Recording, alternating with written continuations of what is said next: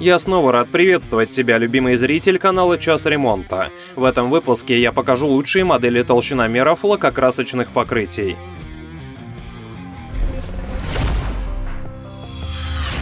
На первое место попадает CarSys DPM 816 Pro. Выглядит как устройство чуть крупнее компьютерной флешки. Чаще всего применяется для определения толщины нанесенной краски или шпаклевки на автомобилях. Но есть и промышленное применение измерения толщины различных защитных покрытий в строительных конструкциях. Работает по принципу измерения вихревых токов в металле от наводимого магнитного поля. Способен проникать на толщину до 3 мм. Работает не только на черных, но и на цветных металлах. Какой измеряется в текущий момент, определяется автоматически. Конструкция устройства крайне простая, на корпусе есть небольшой ЖК-дисплей с подсветкой, можно замерять в темноте. Для управления предлагаются всего три кнопки, с их помощью можно выбрать режим замера и единицу измерения. В общем, компактная и удобная модель весит около 50 граммов, замеры проводит оперативно. Стоит около 5400 рублей. Если в процессе просмотра тебе понравится какой-то толщиномер, то загляни загляни в описание, там есть все необходимые ссылки с ценами и подробной информацией. А еще промокод, который поможет немного сэкономить.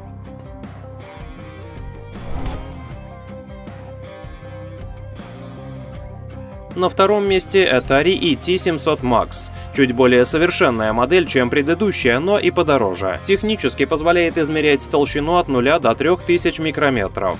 Конструкция этой модели немного отличается от предыдущей. Дисплей здесь тоже имеется, находится на противоположном от датчика торце. Он достаточно информативен, способен выводить кучу полезной информации во время процесса измерения. Калибровка происходит автоматически, а замер можно выполнять в беспрерывном темпе, переходя от одной детали автомобиля к другой. Толщиномер умеет автоматически определять тип металла, в том числе способен распознавать металлическую шпатлевку.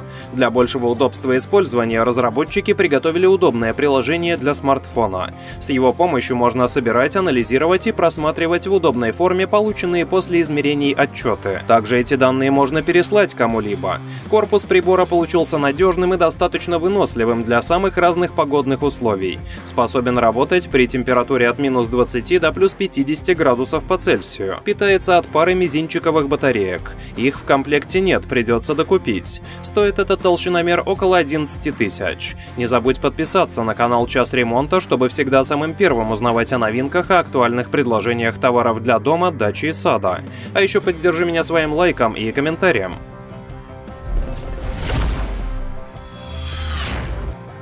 На третье место попадает Art-Device RD1000 Pro. Своим внешним видом и конструкцией похож на предыдущую модель. Готов измерять детали толщиной до 2 мм. Благодаря совершенному датчику толщиномер производит измерения очень быстро и с высокой степенью точности. Отклонение не превышает 2%. От физического истирания наконечник датчика спасает стойкий к воздействию материал – рубин. Поэтому со временем модель не теряет своей точности.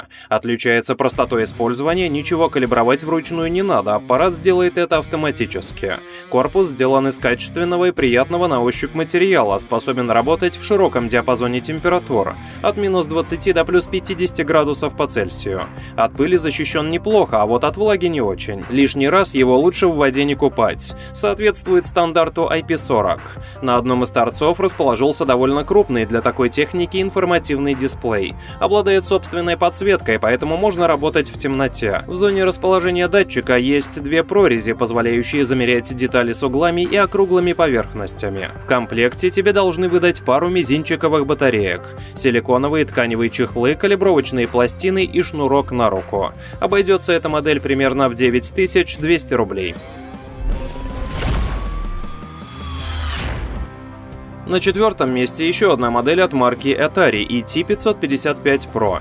Толщиномер упакован в аккуратный прямоугольный корпус. На одном из торцов находится датчик для измерений. Благодаря усовершенствованному процессору и вычислительной логике инженерам удалось добиться сниженного энергопотребления. Поэтому заряда батареек должно хватить надолго. Здесь, кстати, используются две штуки типа 3А. Их тебе должны выдать в комплекте. Что касается технических возможностей, то прибор может проникать в деталь на глубину до 2 мм. Распознает черные и цветные металлы и определяет их автоматически. Экранчик у этой модели небольшой, но для вывода основной служебной информации его вполне достаточно. Умеет автоматически отключаться при неиспользовании в течение одной минуты. Корпус устойчив к низким и высоким температурам и способен работать в диапазоне от минус 20 до плюс 50 градусов по Цельсию. Стоит около 8100 рублей.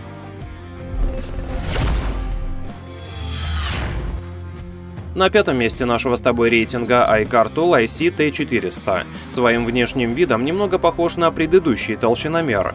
Корпус представляет из себя довольно компактную прямоугольную коробочку. На одном из торцов находится измерительный датчик.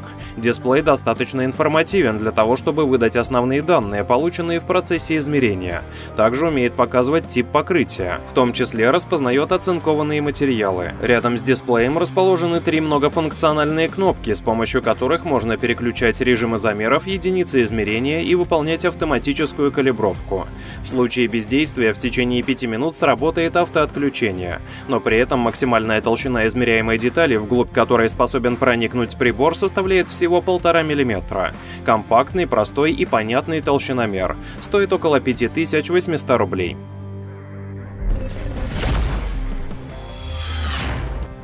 Шестое место занимает Unombo YNB220. Эта модель тоже упакована в компактный и удобный для переноски и работы корпус. На передней панели ярко выделяется небольшой экранчик с собственной светодиодной подсветкой. Рядом с ним расположились простая и понятная панель управления из пяти кнопок. В глубину детали может проникать на 1,5 мм, при этом он определяет тип металла, в том числе и цинк. Точность измерения вполне допустимая, составляет около 3%. Корпус хоть и выглядит немного бюджетно, вполне выдерживает интенсивную работу при температурах от минус 20 до плюс 40 градусов по Цельсию. Из дополнительных функций доступен светодиодный фонарик, питается модель от двух мизинчиковых батареек, которые тебе должны дать в комплекте. Стоит этот толщиномер около 4900 рублей.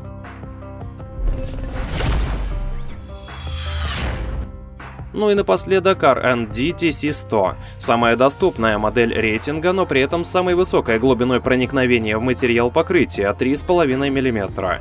Корпус выглядит крайне простым и бюджетным. Четыре кнопки для управления, небольшой экранчик и измерительный датчик на торце. Способен определять тип измеряемого металла. В состав комплекта входит набор пластин для автоматической калибровки. Интересно, что питается этот прибор от батареи типа 6F22, то есть крона. Ее в комплекте не выдают, так так что придется купить отдельно. Несмотря на бюджетность и простоту, модели выдерживает удары судьбы и непогоды. Неплохо чувствует себя в разных температурах, весь необходимый функционал для измерений имеется. Стоит около 3600 рублей.